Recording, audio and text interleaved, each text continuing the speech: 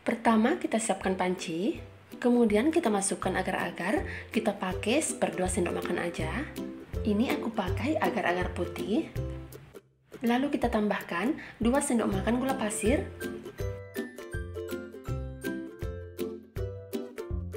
seperempat sendok teh garam halus, kemudian kita masukkan 200 ml air putih, dan pasta pandan secukupnya. Nah, kemudian kita aduk dulu sampai tercampur rata.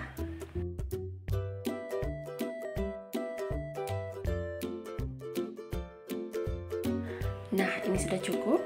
Selanjutnya kita masak. Kita masak sampai mendidih menggunakan api sedang. Sambil terus diaduk ya, agar tidak menggumpal.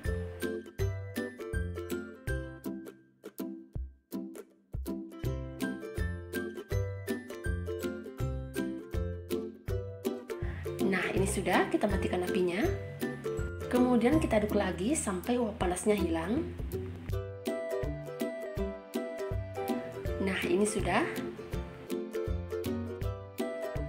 Kemudian kita pindahkan ke dalam wadah atau ke dalam cetakan.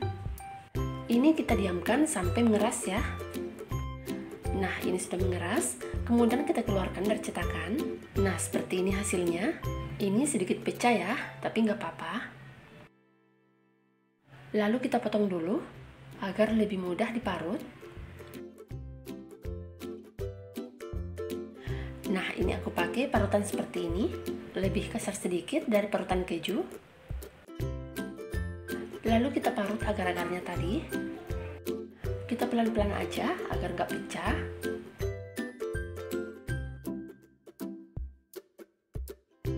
Nah, ini sudah kita parut, kemudian kita sisihkan dulu. Selanjutnya kita siapkan wadah, kemudian kita masukkan 1 sendok makan tepung maizena. Lalu kita tambahkan sedikit air.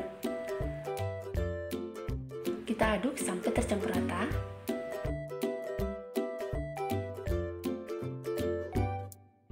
Nah, setelah rata seperti ini, kita sisihkan dulu. Selanjutnya kita siapkan panci, kemudian kita masukkan satu saset agar-agar putih. Lalu kita tambahkan 9 sendok makan gula pasir.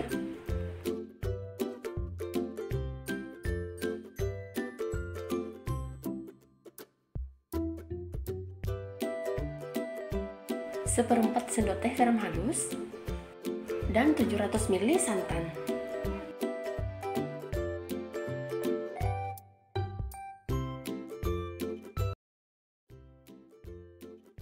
Nah, kemudian kita aduk dulu agar tepung agar-agarnya nggak menggumpal.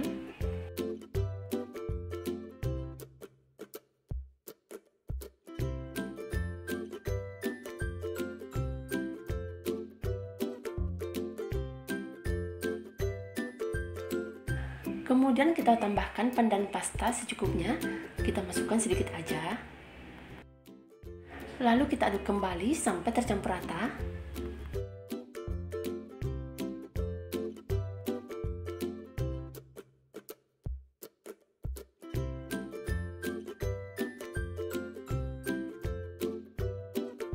Nah, ini sudah cukup. Selanjutnya kita masak.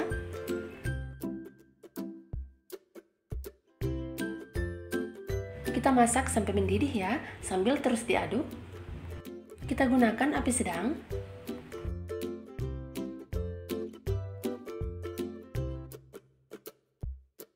Nah, setelah mendidih seperti ini, kita masukkan larutan tepung maizenanya tadi. Kita aduk kembali sampai tercampur rata. Kita masak lagi sebentar.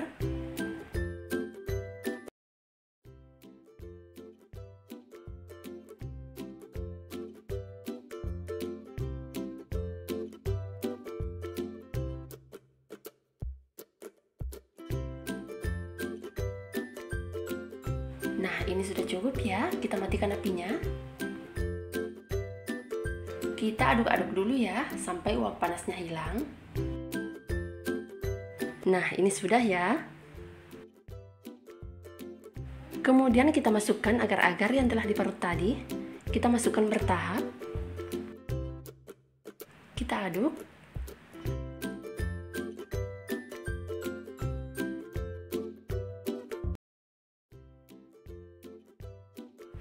Kita masukkan lagi. Kita aduk.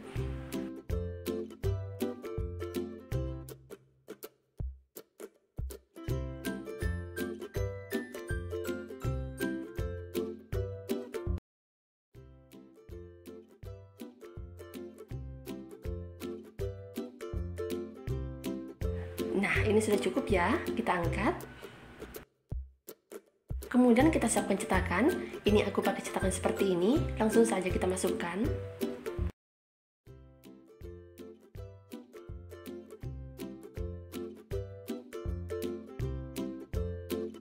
Ini kita diamkan sampai mengeras ya.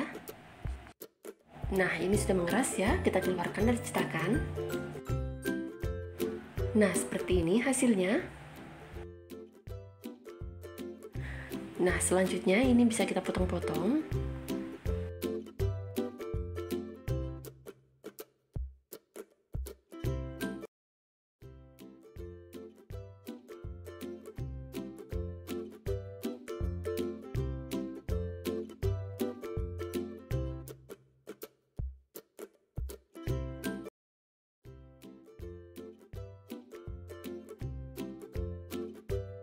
Nah, seperti ini hasilnya. Ini tuh rasanya enak banget dan lembut banget. Semoga bermanfaat ya. Terima kasih.